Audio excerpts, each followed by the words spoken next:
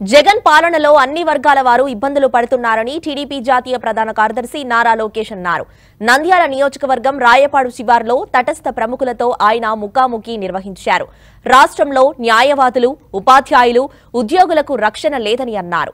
జగన్ నిర్ణయాలతో రాష్ట్రం నాశనమవుతోందని ఆరోపించారు. పక్క రాష్ట్రాలు అభివృద్ధిలో దూసుకెళ్తుంటే ఏపీలో ఏం లేదన్నారు. కంపెనీలన్నీ తరిమేస్తున్నారని విమర్శించారు. అందరూ జగన్ బాధితులే అన్నారు. న్యాయం తరపున లాయర్లు పోరాడితే వైకాపా పార్టీకి చెందిన లాయర్లు మీ సంగతి తెలుస్తా? మీ ఇంట్లో గంజాయి పెడతాం? లేదంటే మీరు రోడ్డు మీద నడిస్తే కొడతాం తంతాం ఏముంది ఇంకో కేసు మా పైన ఉంటుందని బెదిరించే పరిస్థితికి వచ్చారంటే? అంటే లాయర్లకే రక్షణ లేదు. ప్రతిపక్ష నేతకి ఇలాంటి పరిస్థితి వచ్చింది. డాక్టర్లకి లేదు. ఇంకా ఉపాధ్యాయులకు అయితే ఏకంగా వైన్ షాపుల ముందర డ్యూటీ చేశారు. ఆనాడు ప్రతిపక్ష పార్టీగా మేము మాట్లాడడానికనే ఆ డ్యూటీ నుంచి మిమ్మల్ని తప్పించారు అంటే చూడండి ఎలా ఉందో పరిస్థితి. చాలా మంది నన్ను అడిగారు మొన్న రాజశేఖర రెడ్డి గారికి మీరు ఎందుకు దండం పెట్టారు? నేను ఒకటే చెప్పిన రాజకీయాల అతీతంగా మనం రాష్ట్రాన్ని ముందలు తీసుకెళ్ళాలి. కానీ ఇప్పుడున్న ముఖ్యమంత్రి గారు కొంచెం వింతగా ఉంటారు. నాకే అర్థమవుదు. ఒక మాటలో చెప్పాలంటే బాబు గారు అన్నారు నాతో అరే ఎంతో మంది స్టార్ వర్డ్స్తో రాజకీయం చేశాను రాజశేఖర రెడ్డితో నేను ఏమేమో పోరాడినాను కానీ ఇలాంటి పరిస్థితి నేను రాజకీయాలు ఎప్పుడు చూడలేదని స్వయంగా నాకు చెప్పారు చంద్రబాబు నాయుడు గారు. సైకోలు అర్థమవ్వరు బాగా చెప్పిన అంటే ఈయన ఏదో ఆలోచిస్తాడు టక్కని నిర్ణయం తీసుకుంటారు దానివల్ల రాష్ట్రం నష్టపోతుంది అన్ని వర్గాల ప్రజలు నష్టపోతున్నారు.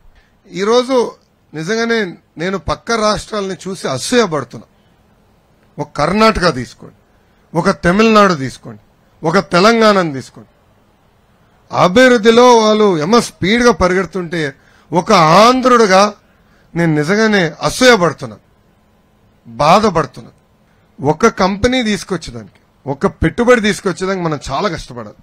అది పక్క రాష్ట్రాన్ని గెంటేసేదానికి రెండు నిమిషాలు పని నాకు ఎక్కడ బాధ కలిగిందంటే అసలు ఫాక్స్కాన్ అనే సంస్థని ఆంధ్ర రాష్ట్రాన్ని తీసుకొచ్చిందే తెలుగుదేశం పార్టీ.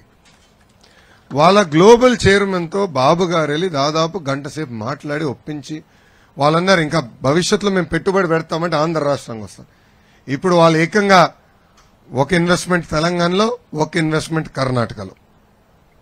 అంటే తెలంగాణలో లక్ష ఉద్యోగాలు కర్ణాటకలో లక్ష ఉద్యోగాలు. అదే బాబు గారు ఉంటే ఆ రెండు లక్షల ఉద్యోగాలు ఆంధ్ర రాష్ట్రం ప్రత్యేక రాయలసీమ ప్రాంతానికి వచ్చాయి రాయలసీమ ప్రాంతానికి వచ్చేది ఎన్ని చూసినా ఒక యువకుడుగా నాకు బాధ కలిగి ప్రజల్లో చైతన్యం తీసుకురావాలి అన్ని వర్గాల్లో చైతన్యం రావాలి. అసలు ఇలాంటి నాశరకమైన ప్రభుత్వం ముఖ్యమంత్రి ఏనాడు మనం చూడలేదు. ఇతని గద్ద దిప్పే లక్ష్యంతోనే ఈరోజు మీ లోకేష్ ఈ పాదయాత్ర చేస్తాం జరిగింది. నేను వదిలిపెట్టాను ఈ పాదయాత్రకి ఫ్రైడే బ్రేక్ ఉండదు. ఎందుకంటే నేను కోర్టుకు వెళ్ళాల్సిన అవసరంలా జీవితంలో ఏనాడు తప్పు చేయలేదు. ఎందుకు మనం ఇంత వెనకబడుతున్నాం? కొంతమంది అయితే ఎగతాలు చేస్తున్నారు. దక్షిణ భారతదేశం బీహార్గా ఉంది ఆంధ్ర రాష్ట్రం? అసలు ఈరోజు చూసాం.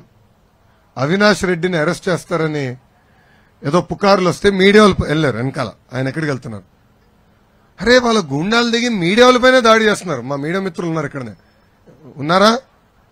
సో ఏంటంటే మీడియా మిత్రులపైన దాడి చేశారండి. ఈరోజు వీడియో చూశారు ఇక్కడ వచ్చే ముందరనే వీడియో చూశాను. అంటే మీడియా మిత్రులపైన కూడా దాడి.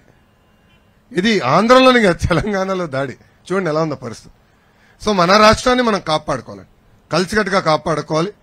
మీ మనసులో ఏముందో మొన్న జరిగిన గ్రాడ్యుయేట్ ఎన్నికల్లో క్లీన్ స్వీప్ మీరు తెలుగుదేశం పార్టీని నమ్మి ఇచ్చారు. ఆ నమ్మకాన్ని మేము నిలబెట్టుకుంటాం. మిమ్మల్ని నమ్మించి మోసం చేశారు జగన్. అది వాస్తవం. కానీ ఆయన ఇచ్చిన మాట మేరకు మీరు లక్షలు ఖర్చు పెట్టారు.